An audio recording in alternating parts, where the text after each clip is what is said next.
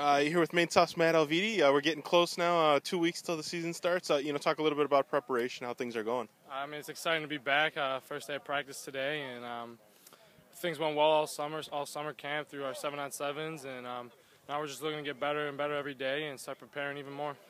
Uh, you know, talk about how last year ended, and obviously that had to leave uh, a, a, bad taste in your mouth after what you guys uh, have accomplished for so many years. Oh yeah, definitely. I mean, after losing, winning three state championships in a row, and then um, losing in, this, in the uh, second round of the playoffs, um, definitely a bad feeling, a bad taste in your mouth, and um, we just got to come back and um, just prepare even harder than what we did last year, and just come out with a chip on your shoulder every game. Could you get the sense, you know, during weightlifting and all the off-season stuff that you guys were, you know, maybe a little hungrier than in years past? Oh yeah, I mean we've been working hard all off-season. Um, we were talking about earlier. We've had like 140 workout days all together um, through the off-season and into the summer now, and um, we've just been growing closer as a team and building that camaraderie and um, just getting better.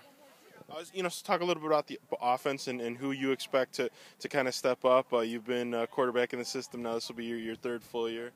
Um, I mean, our offense looks great. It was looked great all summer um, with Solari coming back, um, Frankie Prone coming back, um, and we got a junior George Sajenko stepping up big, and um, Zach King Camp stepping up big, Daly Gazaldo, and Mikey Bosco coming in and stepping up, and um, all around, our receivers look great. Coming out of the backfield, Anthony Mitchell looks great, and then we have our whole um, offensive line coming back, which is um, quite fortunate for us. And um, got a big up front, and we'll be ready to go.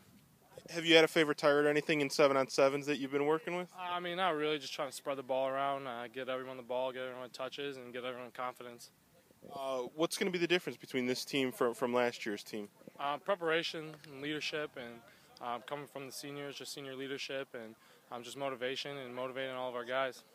And for you, with this being your last year, talk about how important it is for you to, to, to get another state championship. It's definitely um, important to leave another mark on, at Maine South and um, just win another state championship your senior year. I mean, it's your last year, and uh, you don't want to go out any other way than winning the state championship. All right. Thank you very much.